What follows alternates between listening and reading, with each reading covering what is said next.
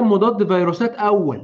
يا حبيبي الصيام مضاد سرطاني أول. يا حبيبي مقوي مناعة أول. يا حبيبي الصيام بيرفع ال growth hormone تا 2000% يا حضرتك ال- الصيام ده اكتشفوا الصيام المتقطع. ما بالك اللي هو ال wet fasting اللي هو اللي فيه مية وشاي وقهوة. إنما ده ال dry fasting بتاع الإسلام ده ثلاث أضعاف الفوائد في الصيام اللي, اللي رسائل الدنيا والآخرة دلوقتي بيتكلموا على فائده الصيام. يجي حد من المسلمين يقول للمسلمين الصيام اللي هيضيع لا صيام في الوباء.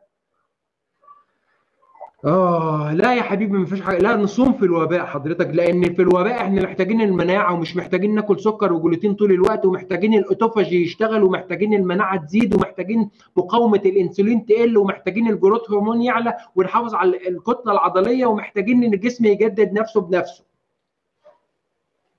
ده الصيام المسلمين أو الصيام المتقطع لغير المسلمين. ده ده هو ده أنا لو مش في رمضان دلوقتي هقول للناس صوموا.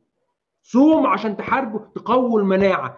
شوف رجعت لاول نقطة المناعة ثم المناعة ثم المناعة. علاقة ال ال ال autophagy اللي هو الجسم ياكل الخلايا السرطانية والخلايا الفيروسية والخلايا البايظة. وال وال وال fasting ال- أو ال intermittent fasting أو الصيام الإسلامي علاقة يعني من أيام الجيزة مع بعض. محدش يضحك عليكم ويقول لا ما تصوموش عشان الوباء. ما توقفوا الصلاة أحسن. وقفوا الدين الاسلامي ادوا للمسلمين أجازة من الدين كده شهرين ثلاثة خلي الناس تزقطط وت- وتهيص. كلام الفارغ. بلد الأزهر يتقال فيها كده. ده ده بلد الأزهر. بلد الأزهر. ما يتقالش فيها كده. ما ينفعش. ما ينفعش. نف... والله أنا اتنرفزت. بلد الأزهر يتقال ما تصوموش في الوباء.